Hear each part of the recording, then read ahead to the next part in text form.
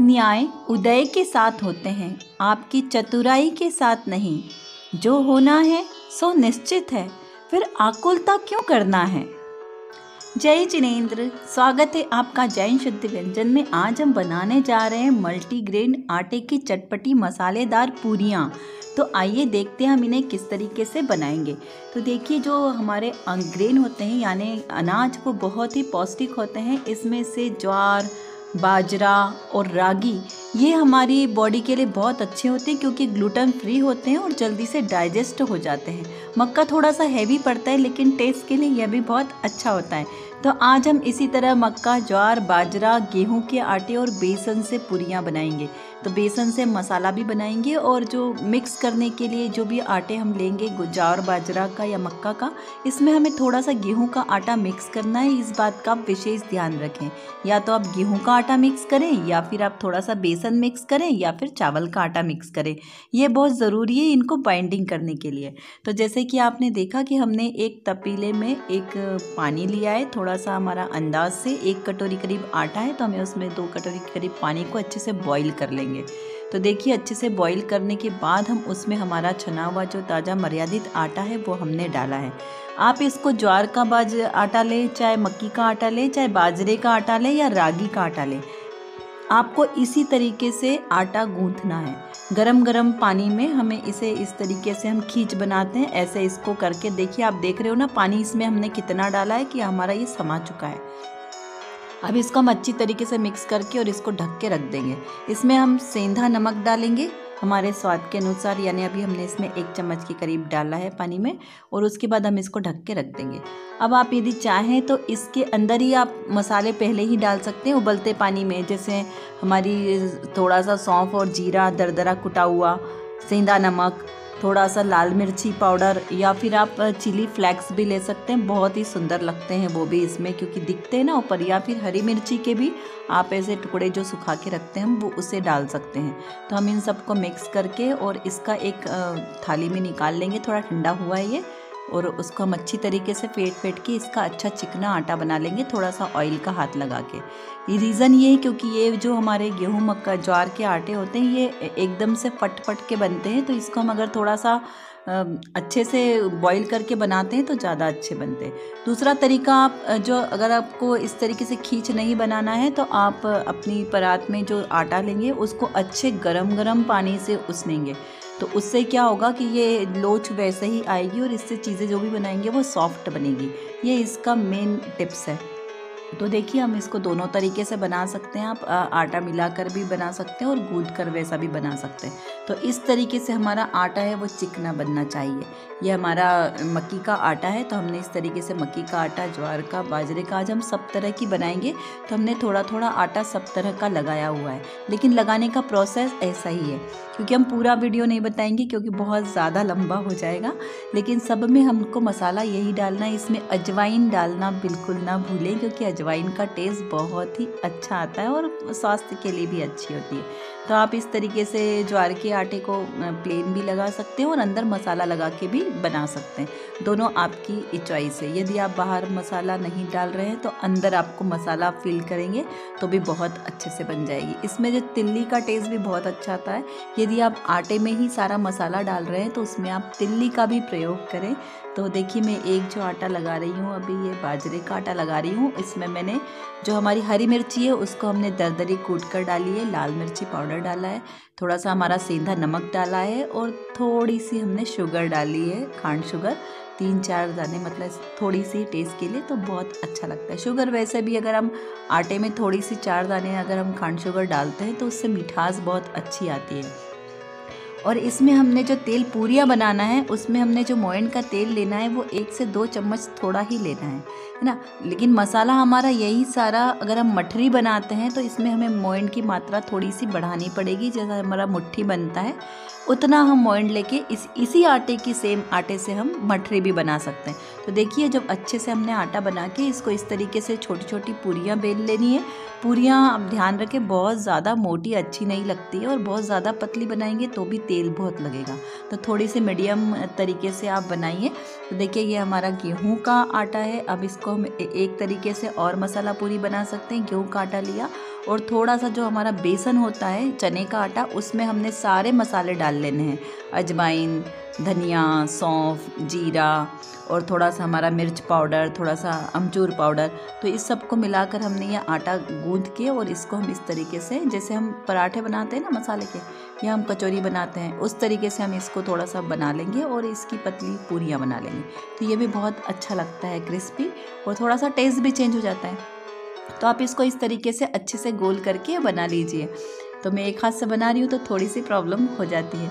तो आप देखिए, इस तरीके से बेल ले दूसरा आप तरीका ये भी कर सकते हो, आप दो बराबर साइज़ की पूरी बना लें और उसको एक के ऊपर रेक रख के और इसको हम इस तरीके से फोल्ड करेंगे। एक हाफ़ फोल्ड किया, फिर एक और हमने फोल्ड किया। अब इसको हम थोड़ा सा दबा के इसको हल्का बेल लेंगे तो इसके जो लेयर्स है, ये भी बहुत अच्छे लगते हैं।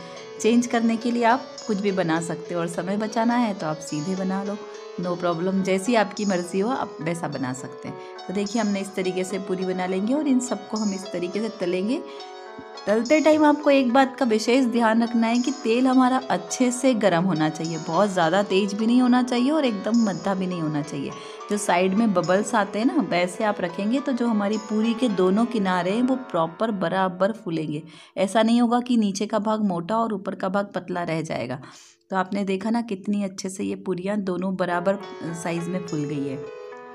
अब रागी भी आप तो सब जानते हैं कि रागी हमारे लिए कितनी हेल्दी और पौष्टिक होती है। कैल्शियम बहुत होता है इसमें, कैल्शियम फाइबर्स तो जो रागी के आटे की भी ना बहुत अच्छे से पूरियाँ बन जाती है। कुछ लोगों को थोड़ा सा इसका टेस्ट कम पसंद आता है, लेकिन स्वास्थ्य के लिए बहुत अच्छा होता है। आप उसमें अच्छे से मसाले डालेंगे तो हर चीज़ बहुत अच्छी लगेगी। सारा खेल मसालों का है। तो हम इस तरीके से इसका भी आटा लगाकर और हम इसकी भी पूरियाँ बनाएँगे और बहुत अच्छे से इसकी पूरियाँ बनती है। देखिए, यदि आपको तली हुई पूरियाँ नहीं खानी है तो आप इसके पराठे तो बना ही सकते हैं। आपको पता है रोटियाँ, हमने आपको वीडियोस डाले हैं। इन सब मल्टीग्रेन आटे की रोटी बनाने के, मसाले मिस्सी रोटी बनाने की भी। तो आप सेम से ही रोटी भी बना सकते हैं और चाहे तो इसकी पूरी भी बना सकते हैं। और दूसरा है कि इसका मठरी भी बना सकते हो। है ना? सभी चीज़ होगी जो हम आपको आज दिखा रहे हैं, ये पूरियाँ, इन सभी के जो हमारा आटा गूथा है, बस इसमें आप मोइन बढ़ाएँगे और आपकी मठरी बन जाएगी। आपको जो शेप डालना है, आप उस शेप से मठरी को बना सकते हैं। तो आप देखते जाइए, इस तरीके से हमारे इस चैनल पे सारे शुद्ध व्यंजन रेसिपी होती है, जिसे आप देख के इसका लाभ उठा सकते हैं और अभक्ष खाने से बच सकते हैं। तो देखिए, हमने रागी की मठरी बनाई है। ये भी बहुत अच्छी और टेस्टी कुरकुरी बनती है। तो आप इस तरीके से मठरी भी बना सकते हैं। जो आप चाहें, वैसा बना सकते हैं। थोड़ा सा खाने को हमारा चेंज कर सकते हैं। लेकिन खाने में टेस्ट के साथ हमें स्पेशली यह ध्यान रखना है कि खाना जो हमारा है, वो पौष्टिक होना चाहिए। क्योंकि अगर हमारी स्वास्थ्य के लिए अच्छा नहीं होगा तो इसमें हमें डबल अभक्ष का दोष लग जाएगा, क्योंकि अनिष्टकारक अभक्ष भी हो जाएगा। जो हमारे स्वास्थ्य के लिए अच्छा नहीं होता है, वो अनिष्टकारक अभक्ष होता है। तो आप इस चीज़ का विशेष ध्यान रखें। ये हमारी मक्के की मसाले वाली पूरी है।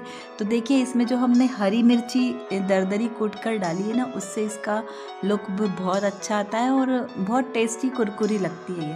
तो इस तरीके से मक्के के आटे से भी हम बहुत सारी चीज़ें बना सकते हैं। आप सारे कुरकुरे की रेसिपी भी आपको हमारे इस चैनल पे मिल जाएगी, जो हम घर में ही होममेड कुरकुरे बनाते हैं। तो इस तरीके से आप सब चीज़ें घर पे बना सकते हैं तो बाहर की हमें कोई आवश्यकता नहीं है कि हमें बाहर का ही खाना खाना चाहिए। तो देखिए, ये हम एक मसाले वाली आपको पूरी बता रहे हैं। इसमें हमने कच्चे केले और मटर का मसाला बनाया है। तो जैसे हम समोसे आदि का बनाते हैं ना सेम इसकी चैनल हमें भी मिल जाएगी आपको रेसिपी हमारे इस चैनल पे। तो हम इस तरीके से डालकर भी हम ये मसाला पूरी भी बना सकते हैं।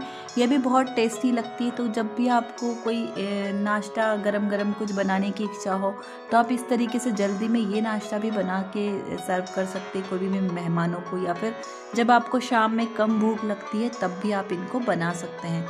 तो देखिए, इस तरीके से ये जो बाजरा, मक्का, ज्वार, ये सारे अनाज हैं, ये भी बहुत ही पौष्टिक होते हैं। यदि आप इनके बजाय सिर्फ़ चावल की ही बनाना चाहें तो आप चावल के आटे से भी बना सकते हैं। चावल के आटे में आप थोड़ा सा गेहूँ का आटा मिक्स कर लें या फिर थोड़ा सा बेसन मिक्स कर लें तो उससे भी आपकी पूरियाँ अच्छे से बन जाएगी। आपने एक बात का विशेष ध्यान रखा होगा कि इसमें हमने कोई भी अभक्ष पदार्थ नहीं डाला है। सौठ आदि का प्रयोग हम नहीं नहीं किया है, क्योंकि सौठ अभक्ष हो जाती है। जो हमारे परम शुद्ध भोजन है, उसकी दृष्टि से। तो हमने उसका प्रयोग नहीं किया। यहाँ पर हल्दी का भी हम प्रयोग नहीं करेंगे, क्योंकि हमारा जो हल्दी है, ये भी हमारा अदरक और सॉल्ट की ही कैटेगरी की हो जाती है, इसलिए इसका भी प्रयोग हम यहाँ पे शुद्ध भोजन में नहीं करते हैं। तो देखिए इस तरीके से हम मसालेदार आपने आपको आज हमने बहुत सारी पूरियाँ बनाई है। ये हमने एक मटर के मसाले से पूरी बनाई है। आप हरा जो चना होता है हरे चने के मसाले से भी बहुत अच्छे से पूरियाँ बना सकते हैं। तो आपको वो रेसिपी भी हमारी वीडियो पे मसाला बनाने की मिल जाएगी। सिंपल सा है। मटर को आपको थोड़ा सा दरदरा कूट लेना है और जैसा हम आ, हमारा मसाला दूसरा फ्राई करते हैं ऐसा ही बघार लगा के आप उसमें मसाला डाल दें और उसमें थोड़ा सा सिका हुआ बेसन डाल के और उसमें से चटपटा वाला मसाला बना लें। तो आपका मसाला तैयार हो गया। किसी भी चीज़ का आपको मसाला बनाना हो तो आप इस तरीके से बना सकते हैं। तो देखिए खाना बनाना कोई बहुत बड़ी चीज़ नहीं है बहुत ही आसान होता है। सिर्फ़ आपको थोड़ा सा ध्यान रखना है कि किस चीज़ में कितनी और क्या क्वांटिटी में सामान डलेगा। तो आप इसको आराम से बना सकते हैं। जो भी ये मटरी हमने आपको पहले भी, भी बताया है कि आपको सब में सिर्फ़ इंग्रेडिएंट्स का ध्यान रखना है कि किसमें कितना क्या मसाला डालना है। बाकी प्रोसेस सबकी सेम है, सब में सेम तरीके से मसाले डालेंगे। मोइन बराबर होना चाहिए और देखिए हमने गेहूँ की और बाजरे की पूरी बनाई है तो बहुत ही टेस्टी ये मठरी हमारी बनी है। तो इस तरीके से आप घर में ही शुद्ध भोजन बनाएँ। चैनल को अगर आपको अच्छी लगती है तो आप उसको लाइक करें, शेयर करें और बहुत सारे साधर्मियों के साथ सब्सक्राइब करें, जिससे सभी लोग शुद्ध व्यंजन को बनाने का लाभ ले सकते हैं और घर में ही शुद्ध भोजन की प्रेरणा ले सकते हैं। तो चलिए, शुद्ध भोजन, शुद्ध मन। तो इसी तरीके से आप स्वस्थ रहें, प्रसन्न रहें। जय जिनेन्द्र।